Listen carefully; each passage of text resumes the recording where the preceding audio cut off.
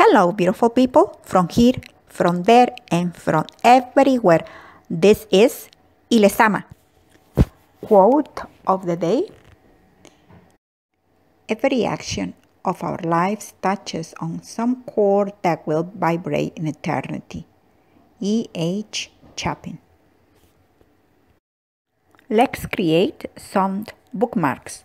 The elements we are going to use in this case will be transparency film, postal stamps, fabrics, scraps of lace, and teeny pieces of uh, paper in which you will be able to put your sentiments of some words that mean something to you. Also, a shape of a heart, whether you use a puncher or maybe you just trace it on your own and the material which you can see at the top which is like a little scraps of thread or actually in this case is um, some silk that I wash it on my laundry washing machine and then I dry it and the pieces they got uh, you know um, the leftovers on the on the piece that receives all the elements from the dryer so that's what they are. I didn't want to throw them away and I'm using for this. What will be next? Well in that case the first one will be taking some threads from the fabric and also uh, use the postal stamps which are going to mount it or glue it into a bigger piece a little bit bigger. And from there arrange all those elements and a piece of the transparency paper which is about two and a half inches by by eight and a half which is the white of the transparency film. You sandwich them and go to your sewing machine and first sew a straight line.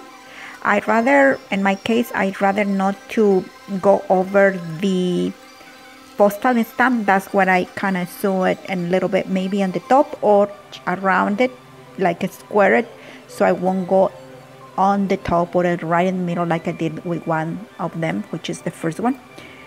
And then um, I, I, like I said once it's done that then you go all around and sewing and voila that's it. You have your bookmark. Tom McNeal's Fables from a book that I am reading which uh, is dated 1900 The Wasp in Church. A wasp which had built her nest among the rafters of a Kansas church observed that while the preacher was expounding the gospel, two of the deacons and about half the congregation were peacefully slumbering. Just by way of experiment, the wasp flew down and socked her sticker into the ball dome of a third of a sleeping deacon who walked with a wild snort like unto the snort of a startled colt, and in less than a minute there wasn't a man, woman, or child in that congregation who was not wide awake.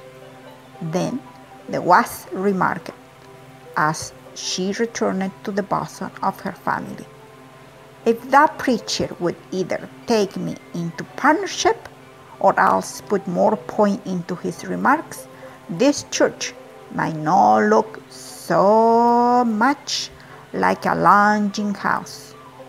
Moral If you want to interest your hearers, have some point to your remarks. Thank you very much. Until next time, y Lezama.